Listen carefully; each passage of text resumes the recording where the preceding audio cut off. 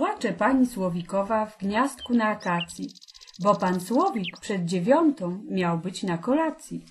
Tak się godzin wyznaczonych pilnie zawsze trzyma, a tu już po jedenastej i Słowika nie ma. Wszystko stygnie, zupka z muszek na wieczornej rosie, sześć komarów nadziewanych w konwaliowym sosie, motyl z rożna przyprawiany gęstym cieniem z lasku, a na deser tort z wietrzyka w księżycowym blasku. Może mu się co zdarzyło, może go napadli, szare piórka oskubali, srebrny głosik skradli.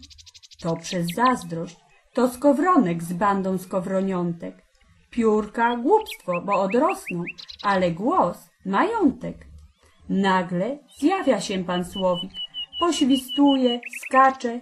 Gdzieś ty latał, gdzieś ty fruwał, przecież ja tu płaczę.